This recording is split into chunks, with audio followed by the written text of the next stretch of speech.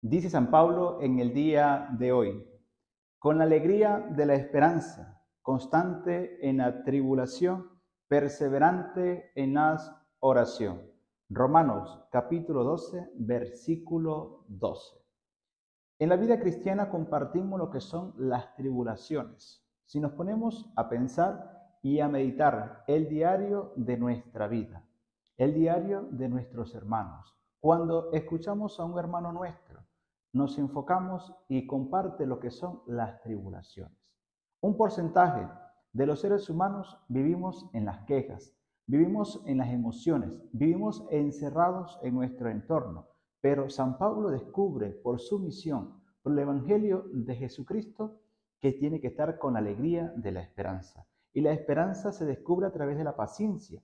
Y la paciencia viene porque hay tribulaciones. Y el Señor nos ha alertado a nosotros de todo esto. Jesús en el Evangelio nos dice, estén preparados, estén alerta, no se duerman, no se desesperen, porque yo estaré con ustedes hasta el fin del mundo. Yo les doy la paz, no como la da el mundo, sino como la da mi Padre.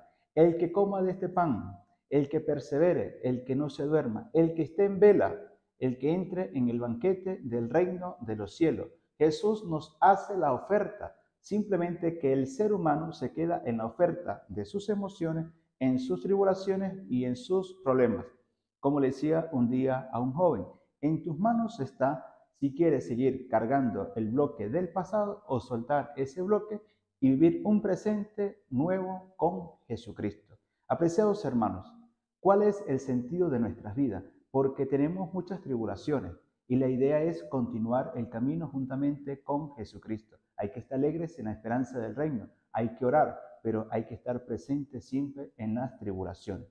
Leía un comentario de unos misioneros en Congo y el padre comentaba que la misionera cayó en cama y la comunidad se preguntaba que cómo era posible esto. Es decir, ellos pensaban que porque ellos predicaban el Evangelio, vivían en la fe, no iban a ser probados.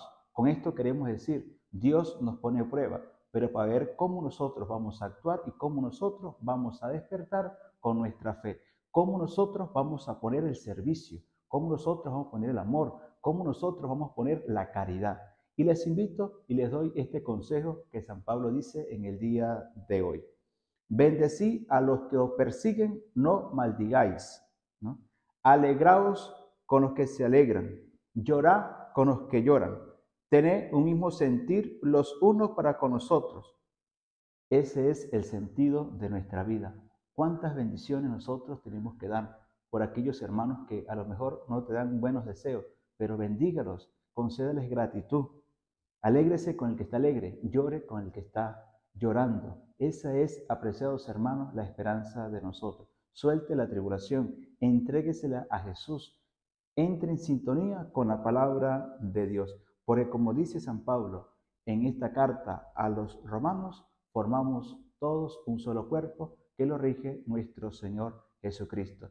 Y si te vas en sintonía del Evangelio en el día de hoy, las tribulaciones nos llevan a eso a poner quejas y excusas para no entrar en el banquete del reino de los cielos. Dichosos aquellos que suelten las tribulaciones, se le entreguen a Jesucristo y entren en alegría del reino de los cielos. Recuerda, está siendo probado en la fe por medio de esa tribulación. Apreciados hermanos, no se les olvide activar la campanita de las notificaciones para que puedan recibir el Evangelio diario desde las redes con el Padre Fercho la obra siempre es de Dios. Y les concedo la bendición de Dios Todopoderoso. Que la gracia del Padre, la del Hijo y la del Espíritu Santo descienda sobre cada uno de ustedes, sobre nuestra familia y que nos acompañe siempre.